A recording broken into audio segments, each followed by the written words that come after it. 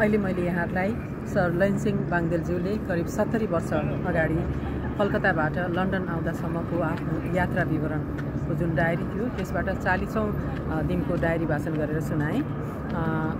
सन् उन्नाइस सय बाहन्न तेइस मार्च अर्थात् आजकै दिनमा उहाँ लन्डन आइपुग्दाको यो डायरी भाषण गर्ने जुन अवसर मलाई प्रदान गर्नुभयो त्यसको लागि न्युयोर्कमा बस्नुहुने कृष्ण सिटौलाजी र उहाँ समक्ष मेरो नाम नामाङ्कित गर्नुहुने प्रोफेसर विजया पन्तजीप्रति हार्दिक आभार प्रकट गर्दै बिदा चाहन्छु। धन्यवाद। नमस्ते।